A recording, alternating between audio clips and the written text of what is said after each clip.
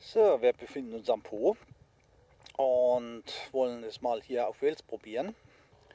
Und jeder hat, hat mir bis jetzt äh, berichtet, dass die Wälse am Po so empfindlich sind.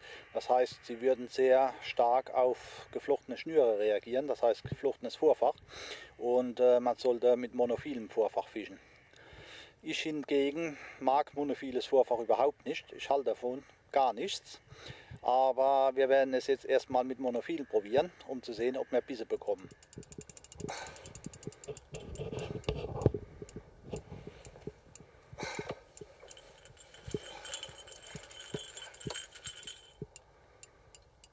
Kann auch zwei Meter haben.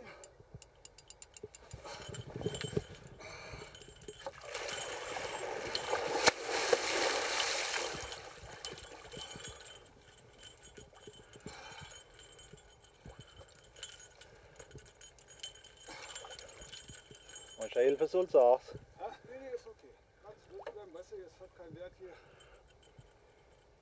Zwei Meter hat er. Ja. Was war das? Schnur abgerissen. Scheiß Vorfach. Ja. Geflochten nicht drauf, moi. Oh nee, das darf doch nicht wahr sein. Also heute geht ja gar nichts. Glatt, deiner eben verloren, meine.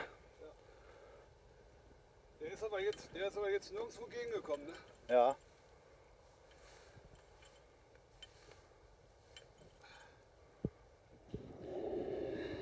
So, im Drill hat man ja gesehen, das monophile Vorfach ist gerissen. Danach haben wir wieder umgebaut und haben eine 2 mm geflochtene als Vorfach genommen. Und siehe da, in der nächsten Nacht habe ich wieder einen Wels äh, drauf bekommen, den ich auch äh, gefangen habe. Und dieser hatte noch die Haken vom Monophilvorfach im Maul. Er war 1,90 Meter groß.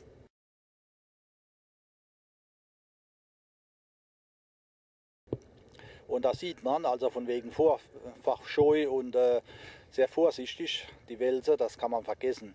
Also wenn ein Tag zuvor im Drill verloren ging und beißt den nächsten Tag wieder und ich habe eine dicke geflochtene als Vorfach dran und diesmal hängt er, dann ist das alles nur äh, Ansichtssache. Und deshalb halte ich von monophiler Schnur gar nichts und wir werden weiter mit geflochtener Schnur fischen.